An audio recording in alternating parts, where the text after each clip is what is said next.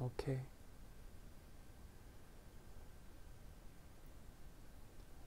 So I think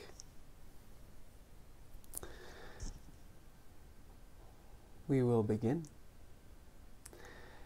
And today, as I was explaining in the previous talk, we've been going through all four Brahma Viharas in our little training loving kindness, compassion, joy, and radiant calm. And last talk, we started exploring the satipatthanas, the four resting places of awareness. And these are simply a way of explaining that the Buddha used uh, to explain what he called wise awareness or samma sati. And it is for us to uh, understand and practice to understand that these four aspects of uh, our experience, our awareness, um, happen naturally. They are already there, they are already happening. And that is the body, knowing the body as body, knowing sensations as sensations, knowing mind as mind, and knowing mental states as mental states. Or that is also Dhamma, knowing Dhamma as Dhamma how things work without without putting our opinion on it or a judgment or criticizing the experience. And looking at reality like the Buddha said uh, yatha bhutang as it is. And to do so we practice also wise practice, wise effort.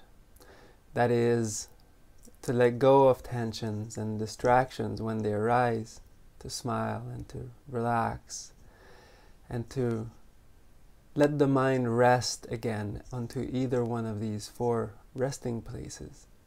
And they all happen naturally, we don't have to do much about it.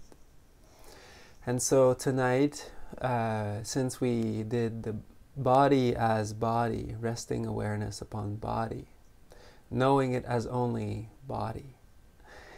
Mm, last session, today we will explore a little bit more the sensations.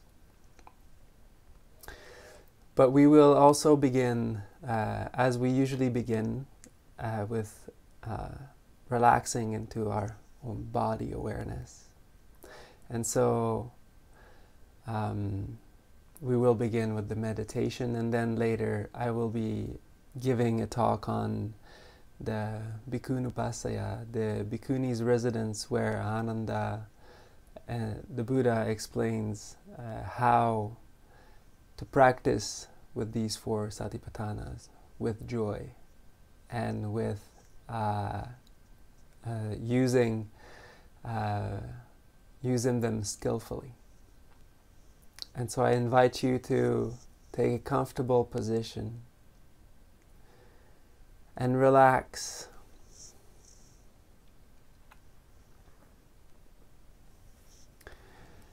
Let go of any tension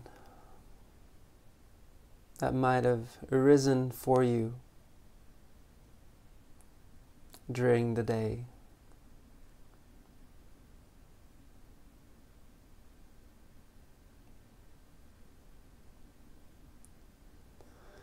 Let go, relax, and smile.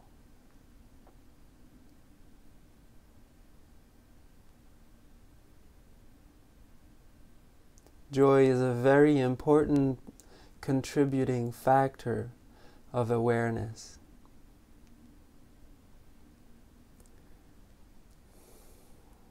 Therefore, it's important to feel at ease, to feel comfortable.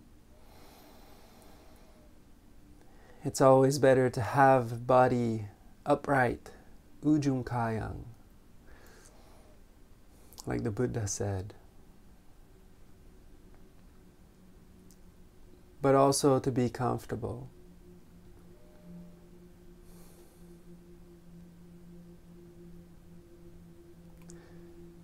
Meditation is supposed to be a pleasant abiding here and now. Sukhi Vihari.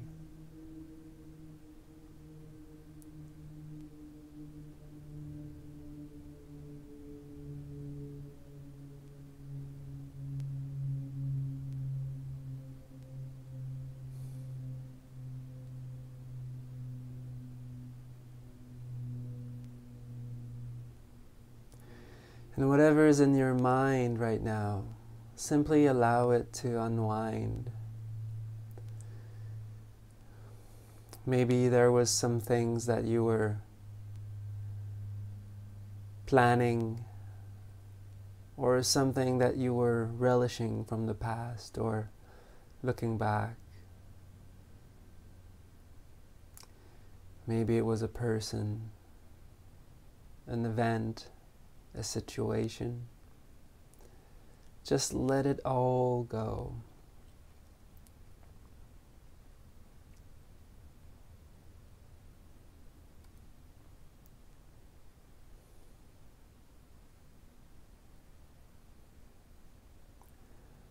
And notice how good it feels just to do that. Let's take a step back.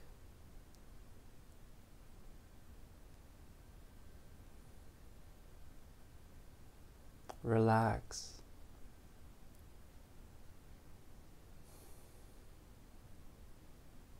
Release any tension.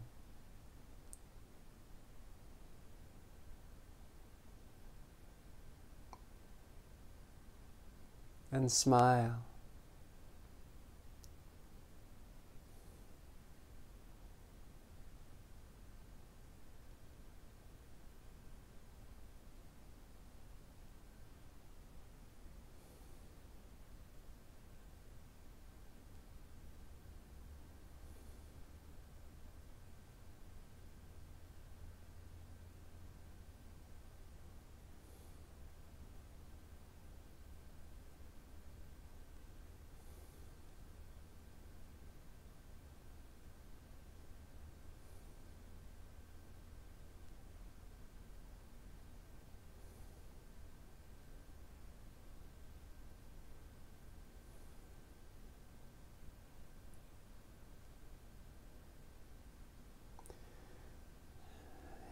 Might notice that as you calm down,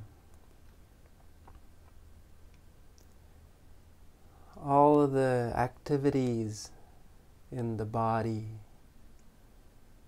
and the activities in the mind are also calming down.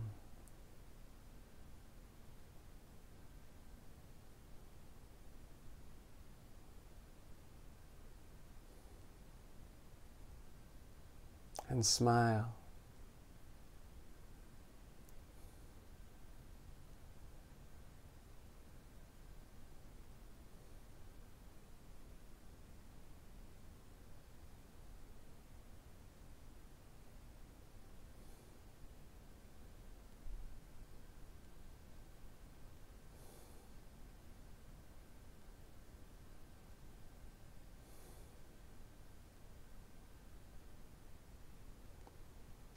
All of these layers of layers and layers of tension and perhaps stress that we've been holding on to, perhaps fairly unconsciously, begin to unravel.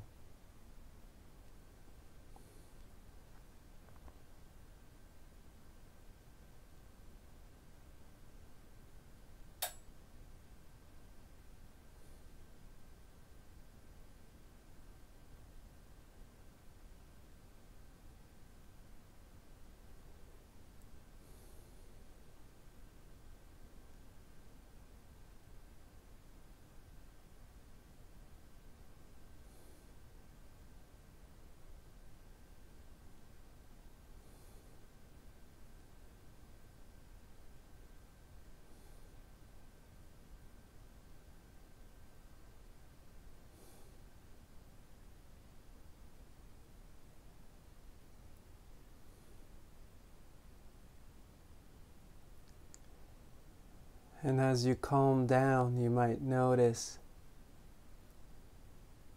that you start becoming quite aware of your whole body.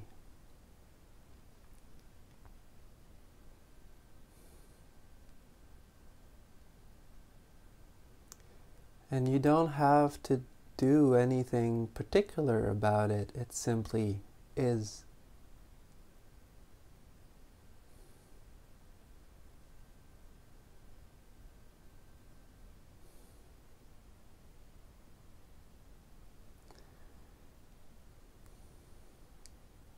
And as we calm down, we allow the mind to simply rest upon this clearer and clearer awareness of body with a smile. Because it feels good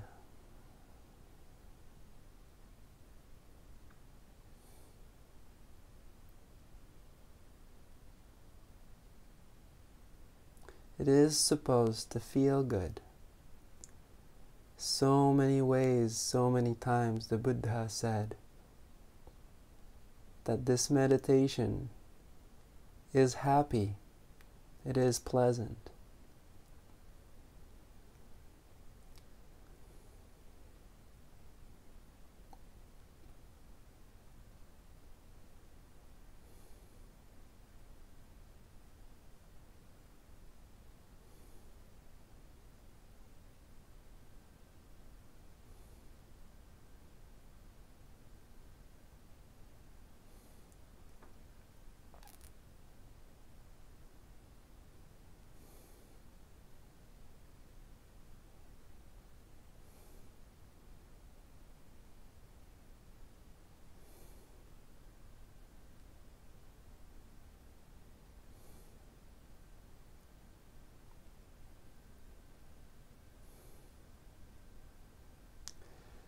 I also call this happy body.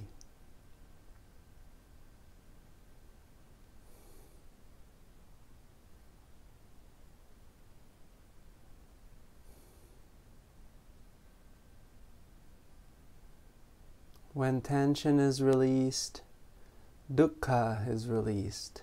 This is the third noble truth.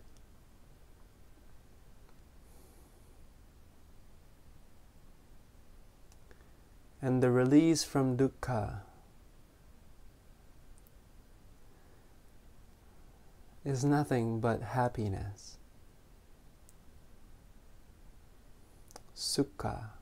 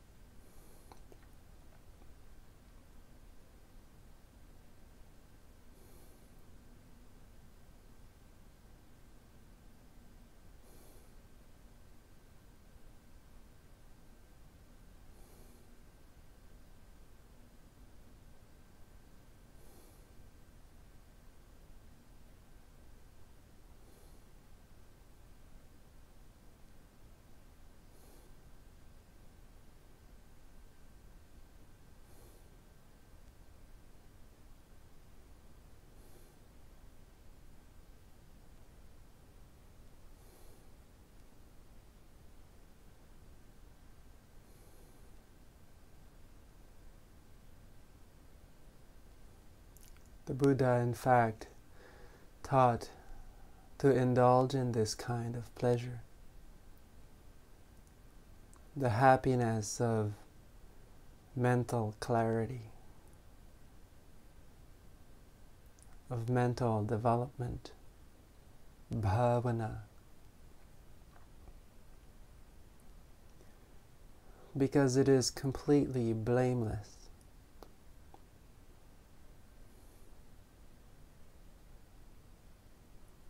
And this is how the mind becomes collected.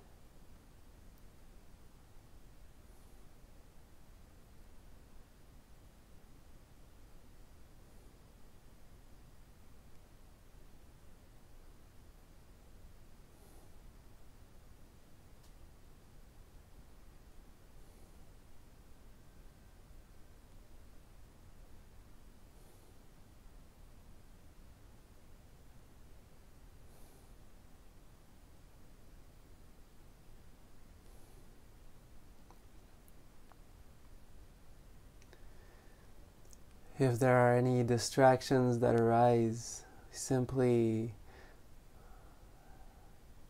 not holding on to them, letting them go, releasing them, relaxing any tension that arises with the distraction. And to smile.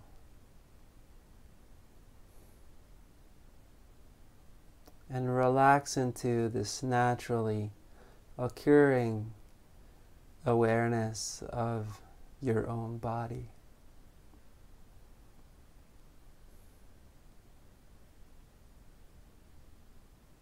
With a smile.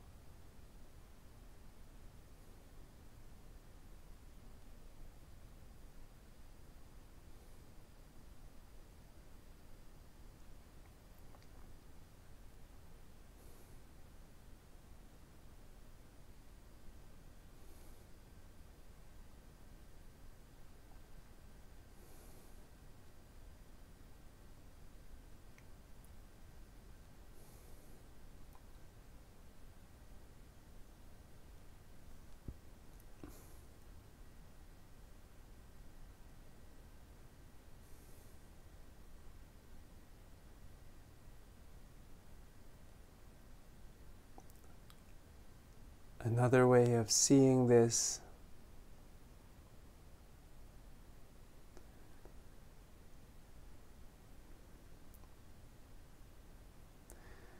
Is to calm down, to pacify any kind of activities that are happening within the body and within the mind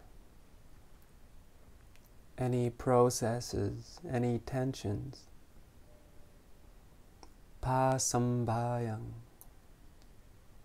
to tranquilize them.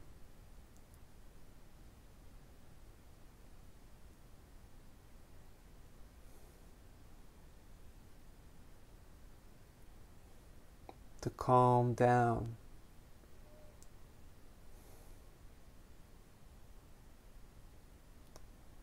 To bring them to an end.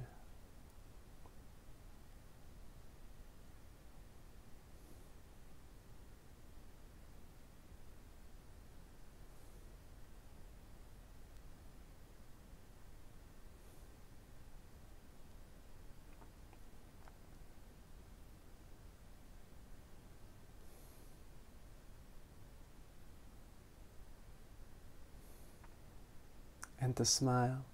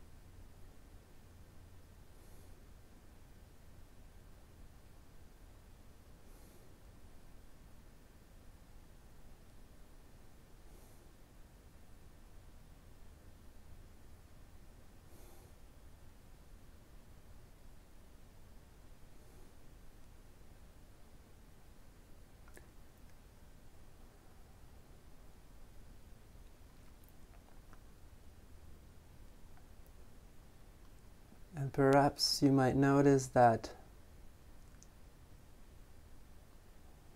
the awareness of your body is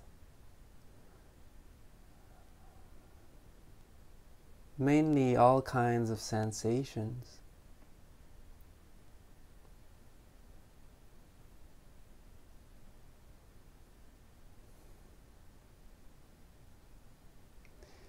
And everything that arises in the mind also comes as all kinds of sensations. Whether they are grosser or more subtle. Sensations are sensations.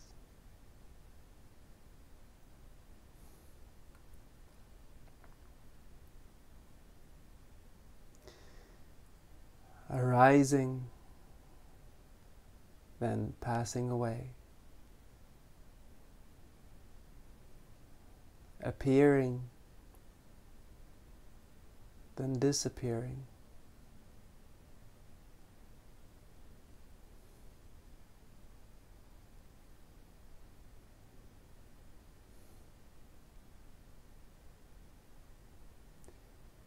Whether it's a pleasant sensation,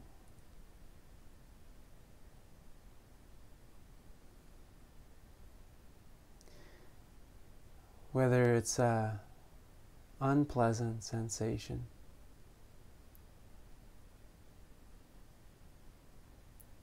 whether it's a neutral sensation.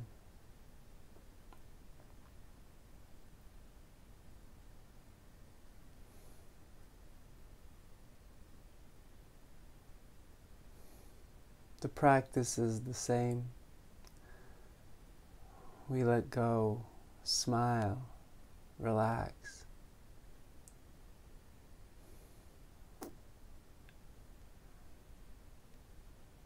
and we do not hold on to the pleasant sensations. We accept them when they come. We smile.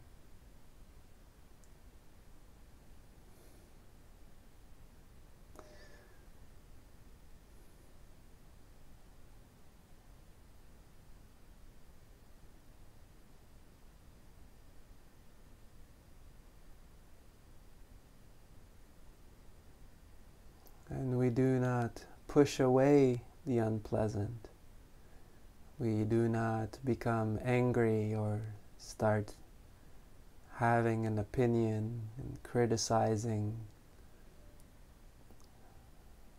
the unpleasant experiences. We notice them for what they are and we relax, we let go and we return to the smile.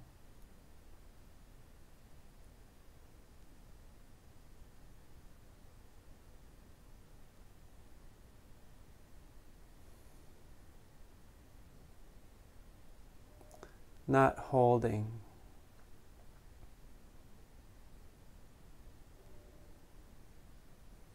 Like sitting at the back of a car watching the road trailing behind, being left behind, left behind, left behind, continually. Not holding, not grasping.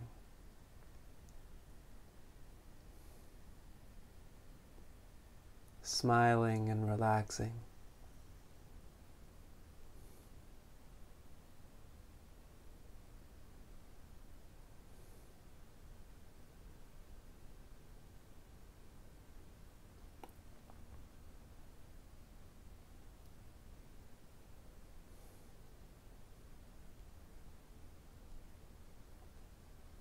Everything just sensations passing away, passing away, passing away.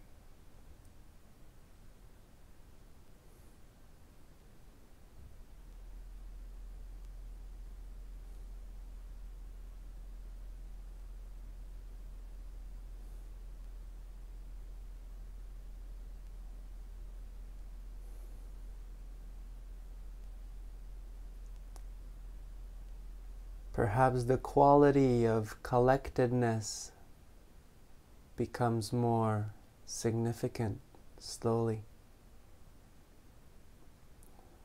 The mind is starting to gather on itself.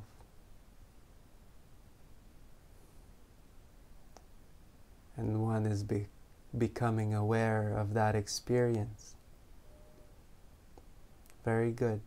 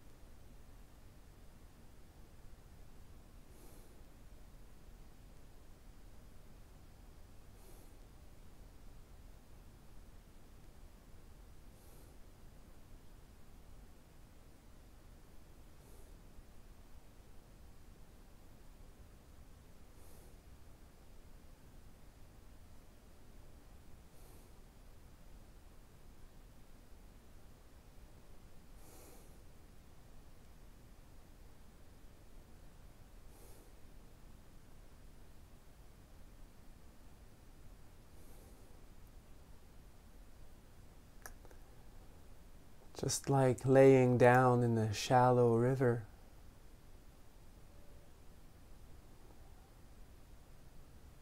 And having the water just flowing, flowing all over your body.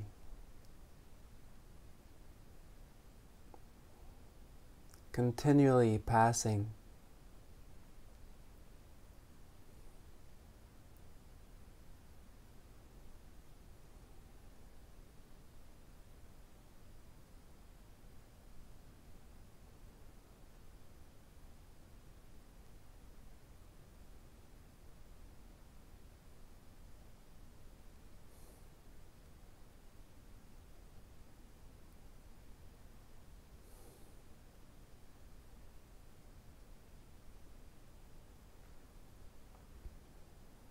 Similarly, whatever sensation is arising for you.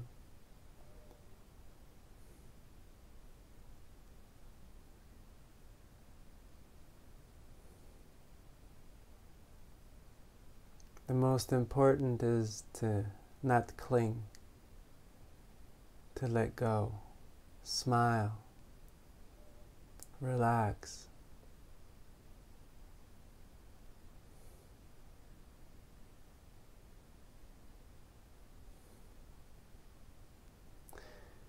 Why clinging?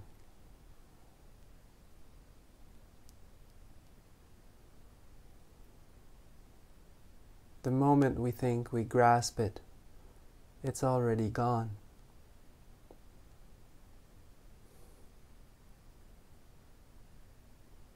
We simply let go.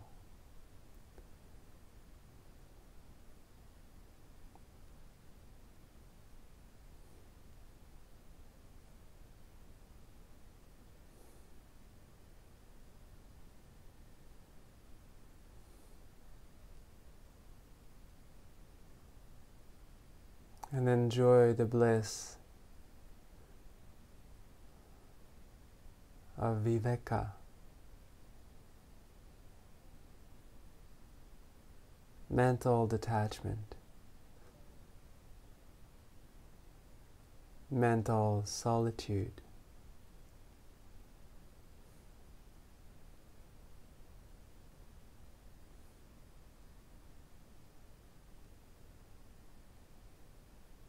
And collectedness.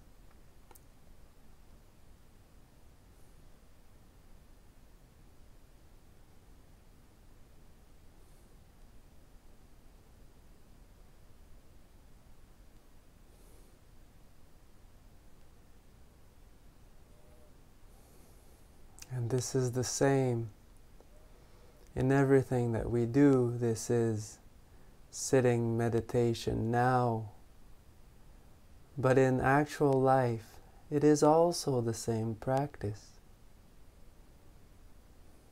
We get to go deeper sitting.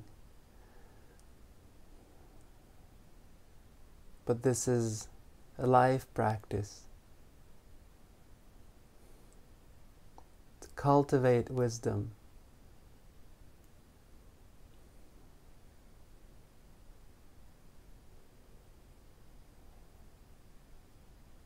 To remain in wholesome happiness, of mental collectedness, of mental development.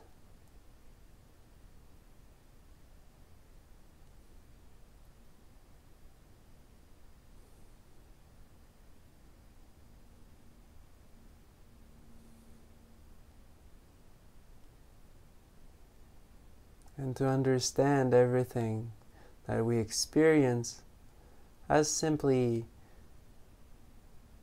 as it is, as it is happening.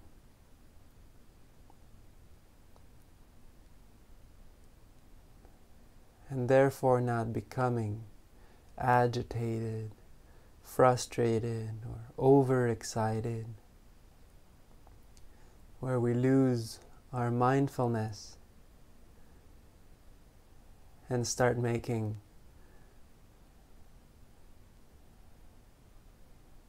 misguided decisions, misleading actions.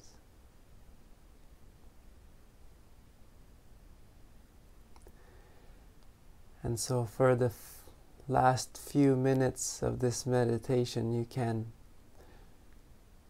bring up the feeling of loving kindness inside your heart. This warm, radiant feeling that you feel for perhaps your children or someone you really love and respect, or perhaps for all of life. And allow it to infuse your whole body, to suffuse your whole body.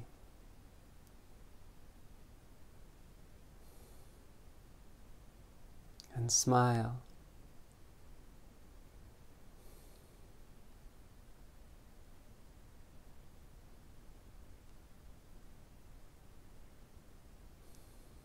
and allowing your love to shine in all of the universe,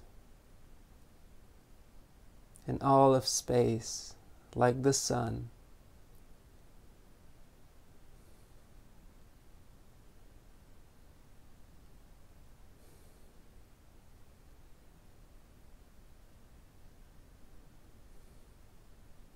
Without forcing too much, just allowing.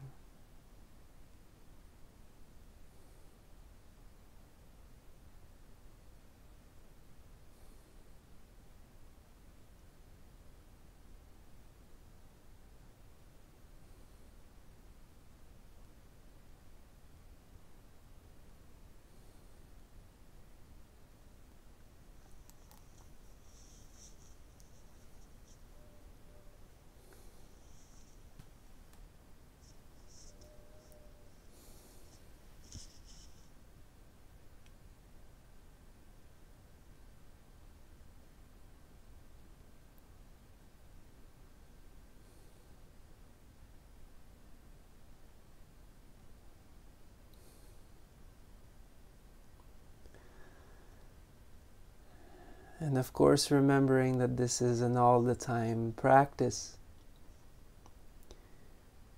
Whether we are sitting or whether we're doing everything that we do in life, to remember not to take things too seriously. All these things that are arising and passing away. Remembering to let go and to smile, to take a step back.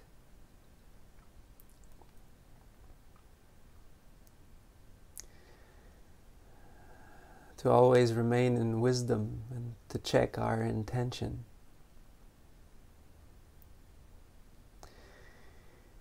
Remembering to discern or to know if we are within wholesome states or unwholesome states. Are we with love and compassion, joy, letting go, contentment?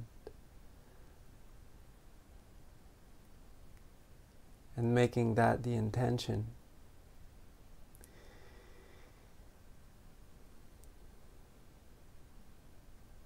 And the virtues will help us remain within that intention. Not to kill, not to steal, not to lie.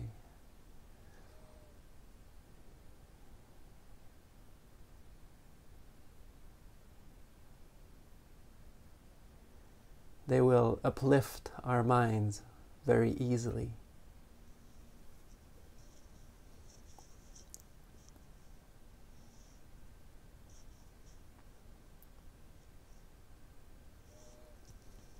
And protected by our own virtues.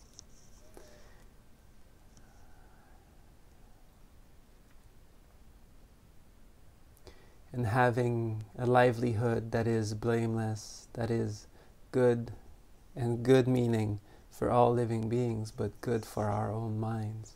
They come together. Then we can easily take on the mental development, the training in the higher mind. And this is a wonderful sutta explaining a little bit more about meditation and a very fundamental aspect of it and the fundamental aspect of how the mind works and how the mind becomes collected through joy and letting go.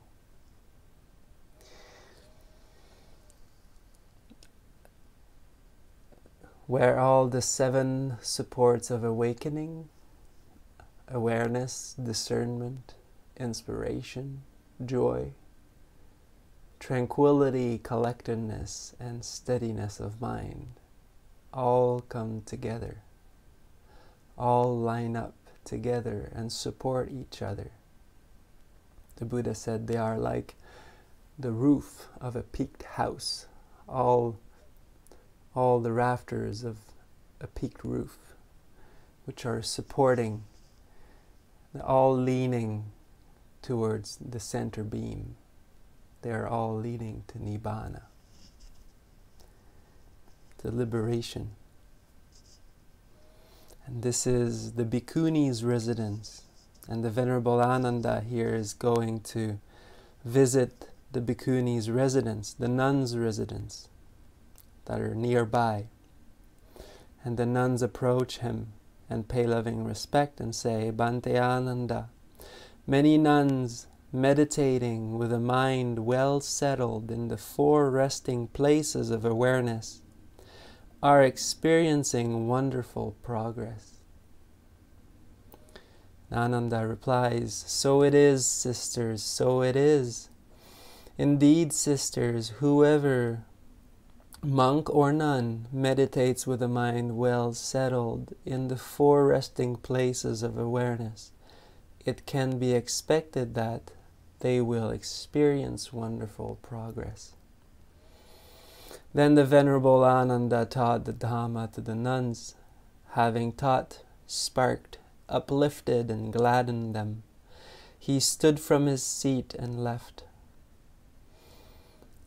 And in the afternoon, having walked in Savatthi for alms, the Venerable Ananda approached the awakened one, paid loving respect, and told him all that had happened to him in the morning. And the Buddha replied, So it is, Ananda, so it is. Indeed, Ananda, whosoever, monk or nun, meditating with a mind well settled in the four resting places of awareness, it can be expected that they will experience wonderful progress. What are the four?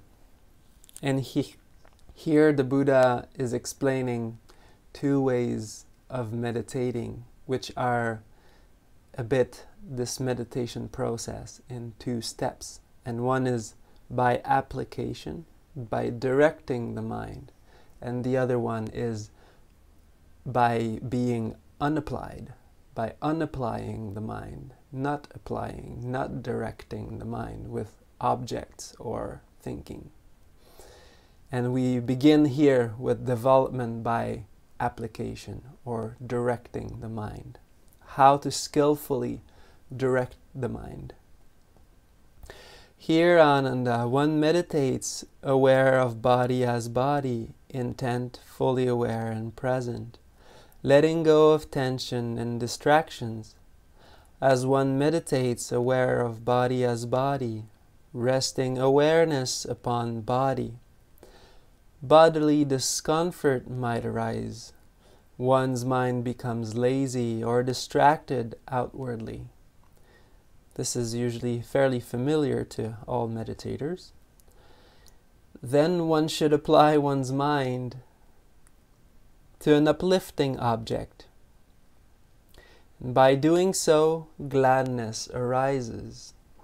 Now, here is the sequence that is very important that is called Dhamma Samadhi or natural collectedness. And this is um, pasada here, this uplifting object, is also, it can be interpreted in a few ways, but mainly it is an inspiring object, a calming recollection, which it can be uh, it can be a lot of things, but mainly if we keep it really simple, this can be only a smile. From gladness comes joy. Joyful in mind, one's body is relaxed. Relaxed in body, one experiences happiness. And a happy mind becomes collected naturally.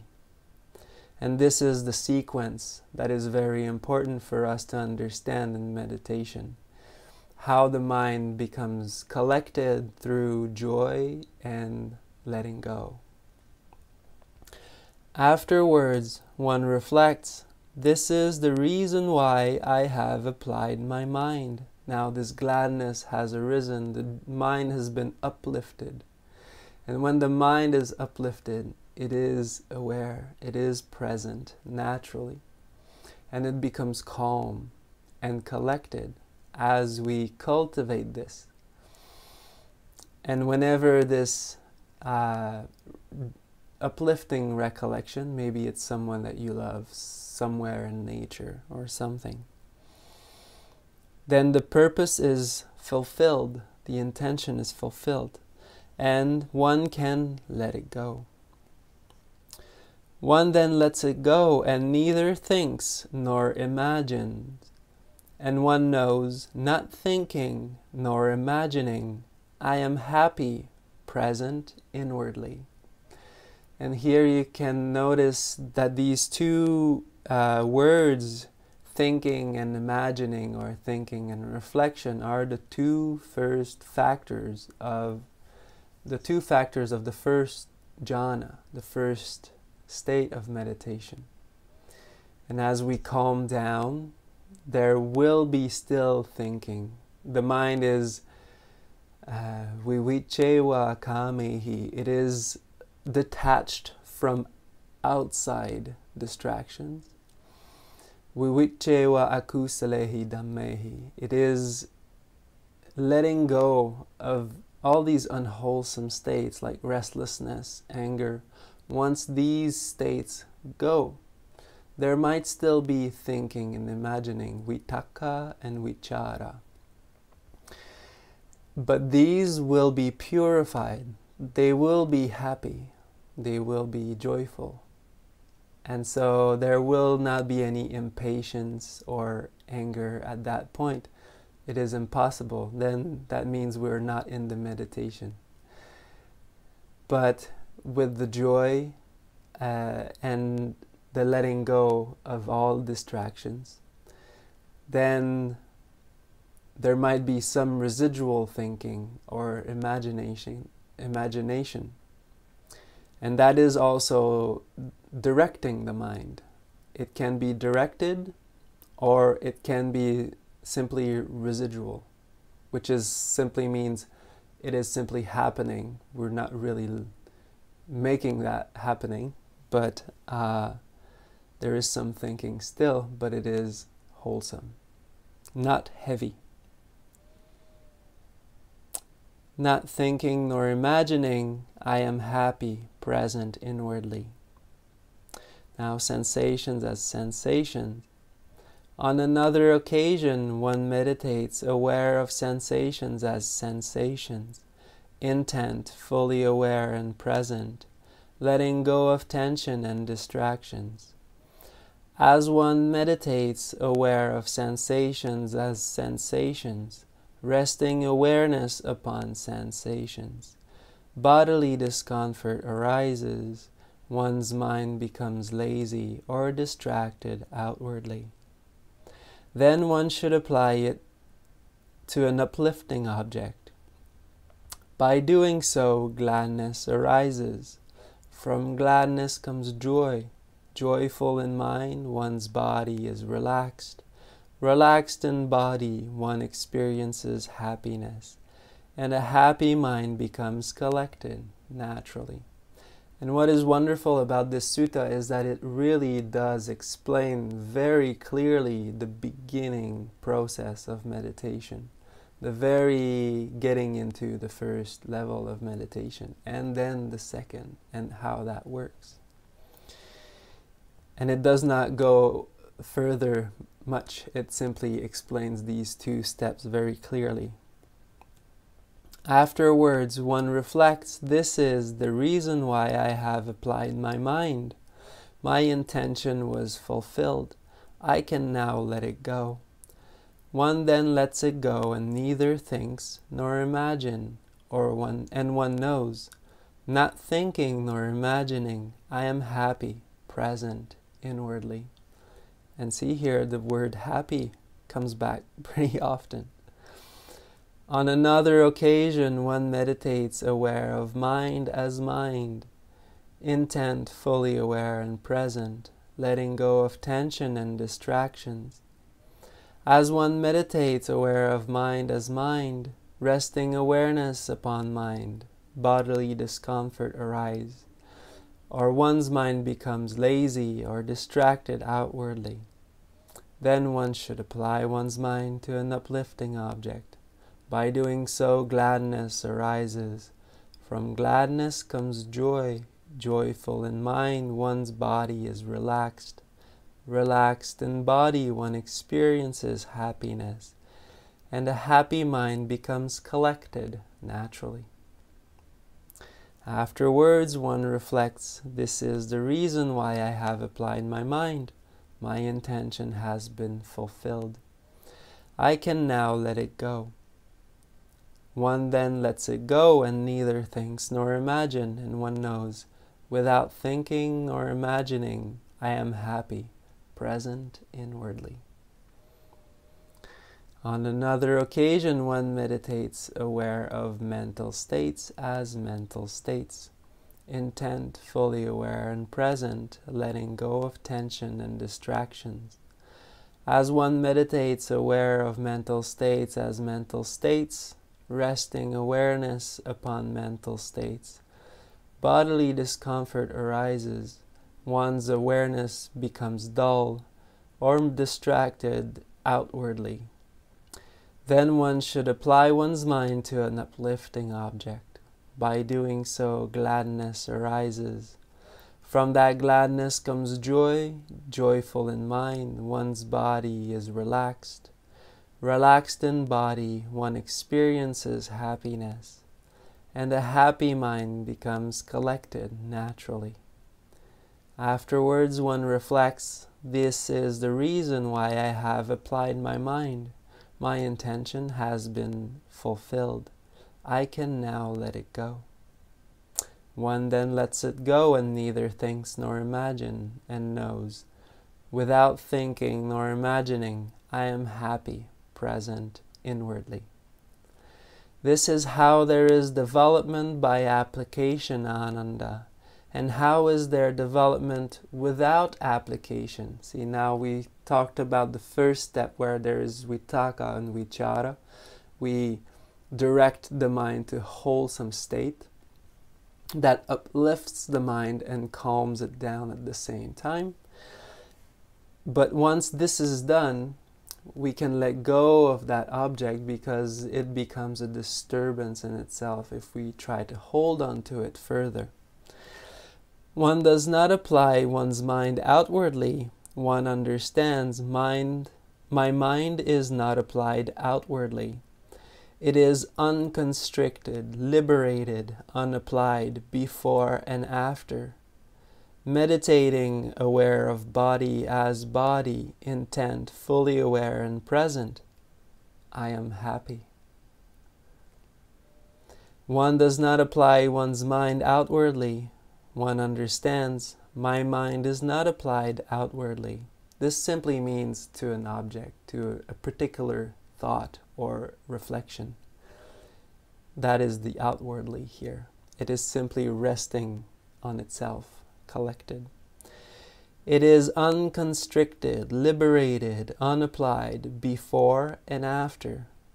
Meditating, aware of sensations as sensations, intent fully aware and present, I am happy. One does not ha- apply one's mind outwardly. One understands my mind is not applied outwardly. It is unconstricted, liberated, unapplied before and after. And see here, this loops back to what the Buddha called appamana samadhi, unlimited samadhi. A samadhi that does not constrict or grasp at any particular object, but it is completely measureless, unlimited. One understands my mind is not applied outwardly, it is unconstricted, liberated, unapplied before and after. Meditating aware of mind as mind, intent, fully aware and present. I am happy.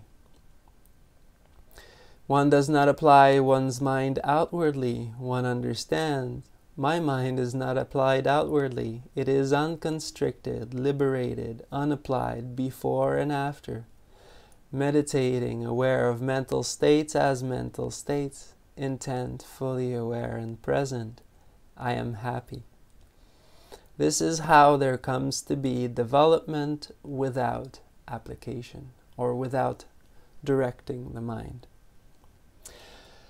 Ananda, I have taught you development by application and development without application what should be done by a teacher for his students, holding their best interest at heart, out of loving compassion. That I have done for you, Ananda. There are these roots of trees, Ananda. There are these empty huts. Meditate, Ananda. Do not be neglectful, lest you become remorseful when the time is past. This is my advice to you. This is what the awakened one said. With an uplifted mind, the Venerable Ananda delighted in the awakened one's words. And this is how this wonderful sutta ends. And as I mentioned earlier in this sutta, um, it is only really explaining clearly this process where we use vitakka, vichara, to uplift the mind with joy and this is also uh, calming the body. And the Buddha, in many ways, in many suttas, explained how calming the body brought up joy or relief, pamojja, and how this relief and this joy also contributes to calming the body and the mind. So it is two wings of a bird, really, and we are using them, and they're um, contributing to each other. And as we're cultivating these states, then we're skillfully using the mind and objects in the mind to uplift the mind. But then once it is uplifted, we can simply let them go and become even freer in mind. And this is talking about the resting places of awareness, but this process is also completely valid for the Brahma Viharas to practice with loving kindness, compassion, joy, or calm steadiness of mind.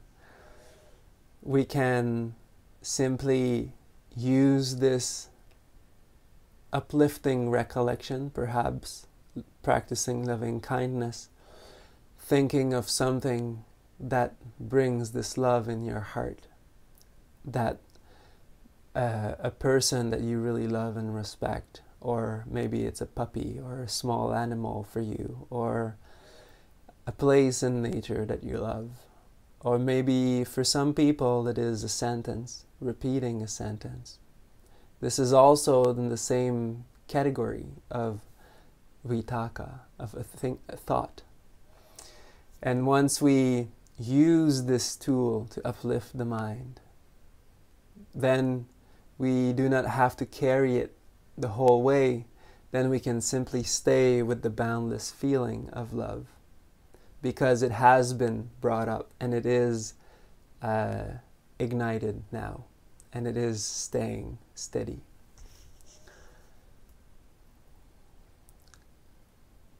So that was the talk tonight, and I will uh, leave it open for questions if there are any from now.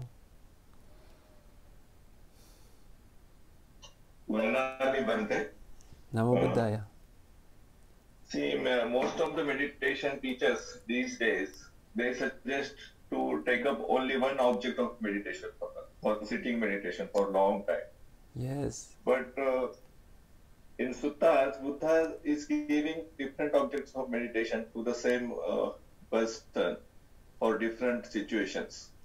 So is it okay to take different objects of meditation for sitting in different situations?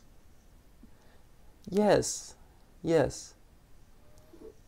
There are uh, some some um, subjects that are ba- basically this is uh, development really, and one of the one of the things that's happened is that it has become mostly uh, fixed, one-pointed awareness uh, practice in many cases, and this this is causing some problems uh, sometimes because uh, it creates some rigidity and um, where this is in fact there are many situations and we in fact we are becoming we are training ourselves to become wiser to become uh, more aware and uh, cultivate wholesome states.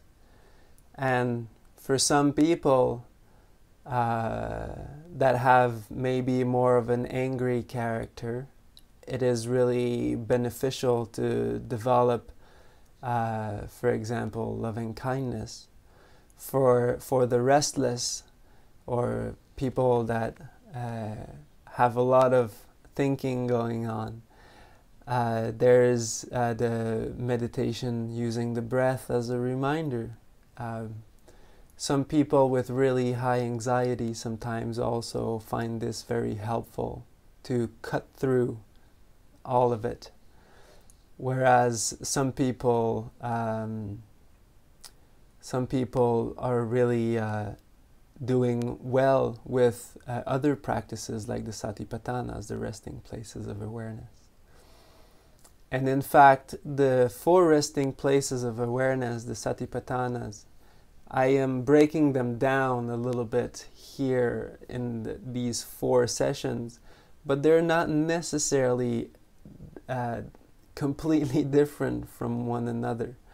They are simply the common denominator in the, all four of them is right effort, is the effort of letting go, of not holding to any of that experience, simply resting the mind onto what is happening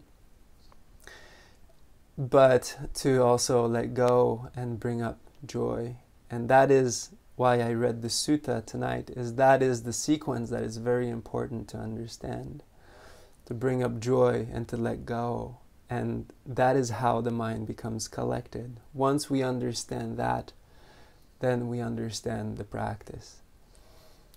And you can work with metta. One thing that I can say though is that um, sometimes the mind, because it is a bit restless, it wants to change object. It wants to change subject of meditation. So it might be a hindrance also at a certain point if there uh, there is so much the mind wants to try so many kinds of meditations at the same time then it creates confusion of course when we're with the love we're with the love, or when, when there's compassion, we use compassion. But there are 24 hours in a day, so there are many, many, many situations that are going to happen. And so we learn to practice with every situation that we have responding with wholesome uh, intention and action. That is the meditation, also. I hope this answers your question. Okay, thank you. Thank you. Good.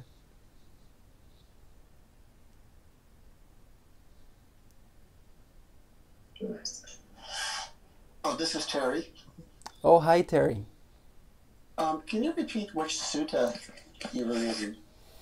Yes, this this is the the nun's residence, um, the Bhikkhunu the Bhikkhunupassaya Sutta. Would you like to know the number? Yes, please. This is in the connected discourses, and well, obviously, it will be written uh, on the talk when it will be posted. But Have you um, translated this one? yes, that was my translation. Oh, okay. And- yeah, I'll just uh, find it on your on your website. It's a number. Samyutta Samyutta Nikaya 547. Yes, Can you say that slow, slowly? Samyutta Nikaya 5.47. Okay. SN five dot four seven. Yeah. Thank you. Thank you very much. It's in the chapter of the four resting places of awareness, the Satipatthanas, and it's number 10. Yeah, I have a question, Bhante. Yes, go ahead. Uh, um, you explained uh, two methods of uh, meditation in this sutta, and is that transition uh, happen uh, automatically, or uh, one has to make a conscious uh, change in the method while meditating?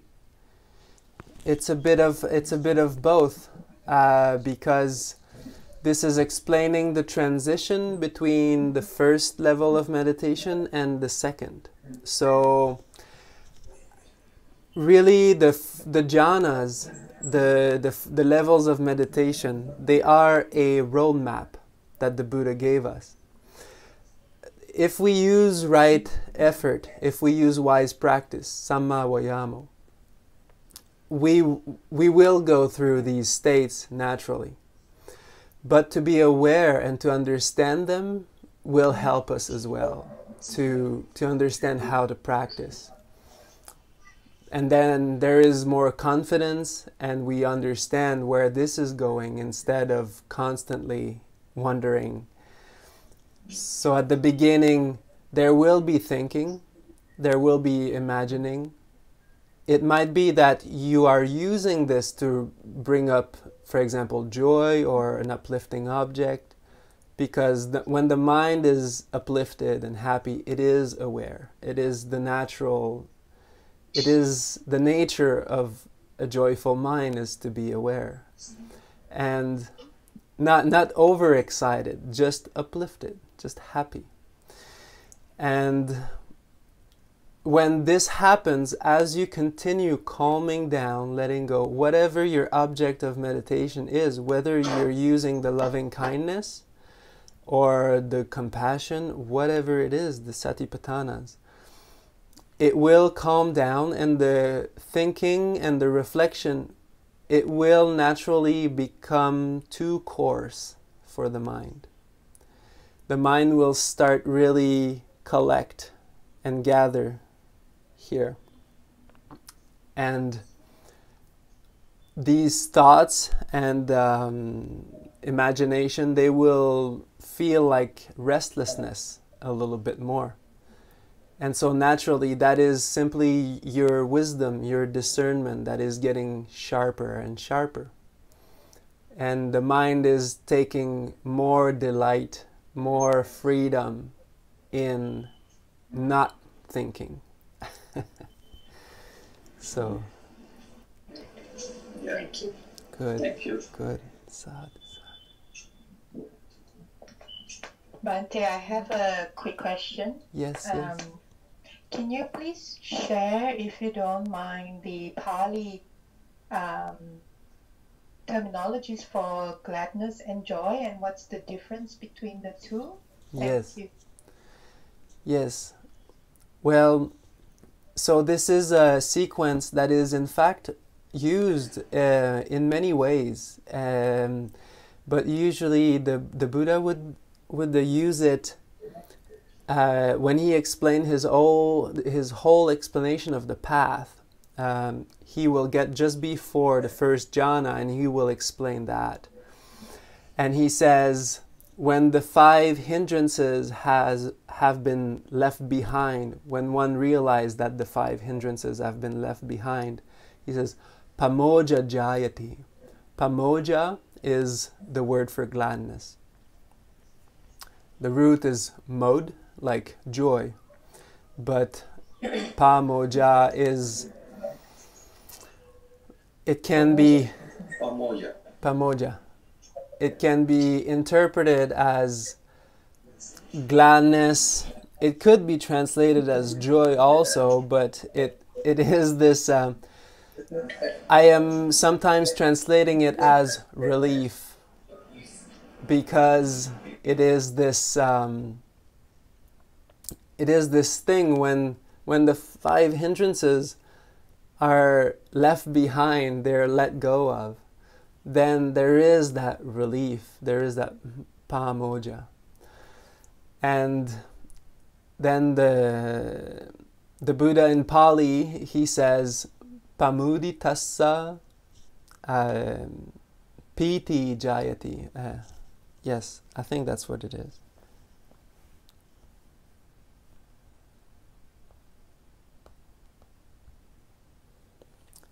Pamuditassa piti jayati. Yes. And that means with that with that gladness or with that uplifted mind or with that relieved mind there is joy but then we need to know the suttas very well uh, to understand that this joy that the buddha is speaking of here is spiritual joy. It is mental development joy. This is not uh, everyday um, kind of uh, eating a chocolate bar kind of joy. this is this is the joy of bhavana. This is the joy of mental development, because these five hindrances they're like the clouds over the mind and when these are left behind is this wonderful joy of clarity mental clarity. And i would say this is the main difference between them if we really try to um, uh, look at them in this way. In other suttas he will use uh, he will use that sequence, for example, when he talks about the six recollections of an awakened person, a person who has entered stream entry or sakadagami, once return or non-return or arahant.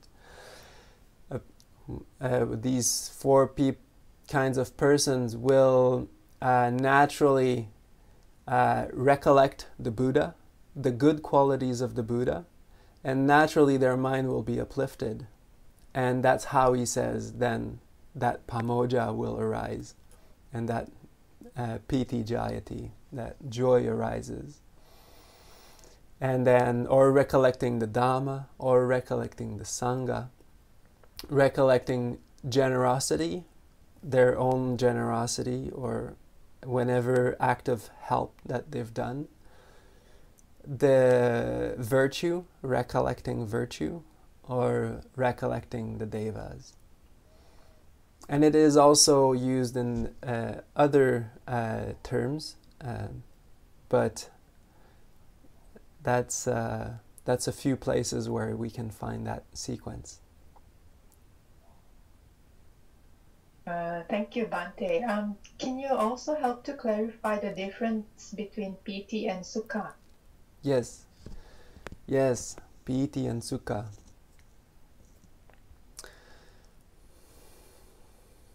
Piti is um, well we have to this is a bit playing with words but um, we um, and this is Pali also. Therefore it has a very specific context which we we don't always have uh, at this time, this day and age, and with the English language, for example, it's it's a bit tricky to translate Pali word for word uh, to English. In fact, that's one of the things we realize pretty soon, is that is very difficult. Um, but I would say that generally, piti is more this this stronger kind of joy. It is a bit more excited, and sukha Sukha is more like happiness, but I would say a synonym of it would be also ease. This really nice ease. And this is also reflected in the second and the third jhana. One feels ease with the body, uh, sukha with the body. And this is not, uh, this is. Uh, a word that I, in fact, change to whenever I speak to different people, I will uh, play with these words the, depending on where people are. But uh, I use happiness most generally because it is quite well understood. But um, further along in the meditation, it becomes quite clearer than that it is simply this really really good ease, ease of body and mind. So that would be more sukha. Bhante, uh, generally it is, piti is translated as mental pleasure and uh, sukha as bodily pleasure in translations I have seen. Yes. Well, see here the, the for example in the Anapanasati Sutta, the, the Buddha will explain um, the first four steps, uh, which include uh, tranquilizing the bodily formations and then knowing the whole body. And then he says, uh, breathing in and out uh, with joy, piti, and then breathing in and out with sukha, with ease or happiness. And so if, if uh, sukha is really this um, bodily, then uh, and is more mental, then it would be the other way around. But, and like I said, the, the Buddha himself, uh, the what one thing that is happening uh, uh, quite quite often, I would say, is that there there some terms have become very very rigid in in Buddhism. And uh, when we read the original texts the Buddha himself played a lot with these terms. And it's not that it's not true what is being said but we should always keep an open mind as to um, uh, these uh, how these words come and how the Buddha uses these terms. And in fact, sometimes he uses these terms as uh, something that is unwholesome, and sometimes he uses them as something that is really wholesome and that, that is to be developed. And we have to understand what context it is being said in and uh, why is the Buddha saying that. And we have to know uh, the, the essence, the core of his teaching to understand what he means. But I would say that he had quite a wide uh, spectrum of um, of ways of interpreting words, and he even mentioned that himself. Oh, okay. Bhante, can you please explain me what is the personal space in respect of a, a spiritual person and uh, Aryas, uh, noble people, how we have to draw a line. I I'm not sure I understood your question. Personal space. Personal peace? It's a buffer zone, buffer space for the people to look after themselves. That is, uh, I have to concentrate on my own self.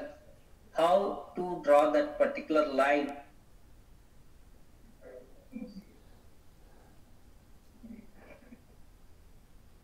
Can you please explain? Yes. Lay people and also noble people.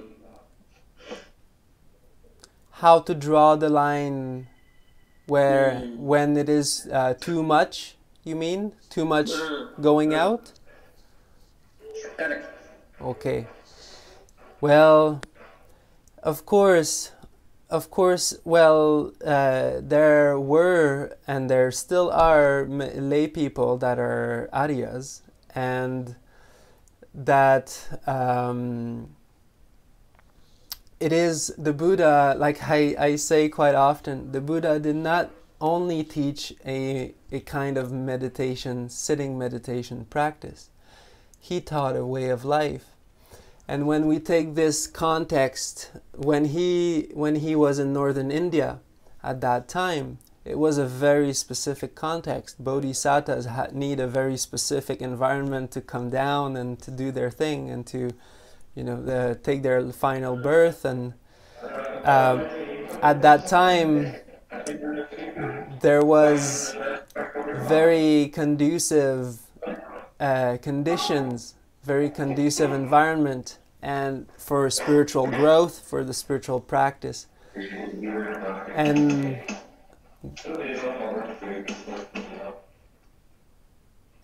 and this is uh, this is a way of life that he was teaching to a lot of monks because at that time it was it was normal. It was almost uh, very, fairly normal to become a monk or to dedicate their lives to, to this kind of practice. There was also countless, countless virtuous lay people, and still are today, that are practicing. But what it comes down to is that it is a all the time practice. This is a life practice. This is how to be happy. It is how to be happy and wise all the time. And to understand the Buddha's teaching is to understand all these tools that he gave and he explained how the mind works and how to develop the mind and how to develop discernment and wisdom to understand what states are wholesome and what states are unwholesome. Now, greed, anger, uh, hatred, jealousy, envy, all these things, they cause us so much suffering in the first place. They cause us so much difficulty, so much tension. Just to let them go, we can experience Nibbana and release here and now. Nibbana simply means the, the letting go of, the blowing out, the cooling down. And so, as much as we can, whether you're a lay person or a monk, it is always see there there were lazy monks too and they didn't make a lot of progress. And there were diligent lay people who made a lot of progress. So here you see it is not about um, well of course of course if you choose to dedicate your life to it well that's that much more that you get. But if you do practice generosity, the mind is not clinging. The mind is always giving. The mind is, you know, it's it's it is liberated in the first place. When a generous mind is a liberated mind, then the virtues are strong. They're established. You're protected by your own virtue, and this is very uplifting for the mind. Then, wherever you look, this might not be in one or two days, but when the people that have been practicing this for a long time, they know the power of virtue. Looking back five years ago, ten years ago, I have not hurt consciously any living beings. I have not told any lies. I have not committed, uh, uh, hurt anybody sexually, or I have not um, spoken in anyone's back or anything. And this is just very wonderful. And this is really uplifting. And as we practice that, as we are devoted to that, then then we align with the Dhamma. We we straighten our view. We straighten our view. We align with the Dhamma. And however committed we are to this is how much progress we will make. It's not it and that depends on you. If if you if someone chooses to go to the movie theater and watch a big movie very noisy and eat popcorn that's great sure but if that person chooses instead to practice for 2 hours and to develop their mind and to sharpen their mind and to make their mind bright and beautiful that will follow them everywhere. Uh, whatever they're going to do, then they're going to be happy. Well, this is our choice. This is this is everyone's choice. Now, the Buddha, in so many ways, he told the disadvantages of sensual pleasures. It's not that it's we we do as much as we can, and especially in the lay life, there's so many things but it's this is out of compassion. This is out of compassion to people because he was saying, be careful. This is not where the true happiness lies. This is where the where you will be tricked. and when we in when we put our happiness into this, then we put we invest our happiness into something that can be taken away at any time it is not reliable we don't know whether causes and conditions will support that for a long time and he always praised the advantage the benefit of letting go the sensual pleasures and and and enjoying the bliss of mental development bhavana and the higher mind. And now, at this point, however anybody wants to uh, partake in this, that's everybody's choice. we align with as much of the Dhamma as we can, and that's what we do. Thank you, Bhante.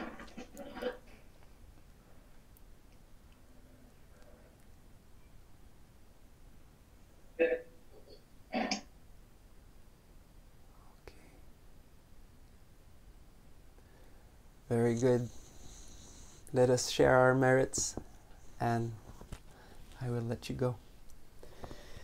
Dukkha pattachani dukkha, bhaya pattachani bhaya, sukha pattachani sukha, hontu sabbe pipanino, idang no punyang sabbe satta numodantu, sabba sampatti siddhya, akasatta cha bhummatta, Devanaga Mahidika Punyang tang anumoditva chirang rakhantu buddha sasasanang. May suffering ones be suffering free and the fear struck fearless be. May the grieving shed all grief and may all beings find relief. May all beings share these merits that we have thus acquired for the acquisition of all kinds of happiness. May beings inhabiting space and earth, devas and nagas of mighty powers, share these merits of ours. May they long protect the Buddha Sasana. Sadhu, sadhu.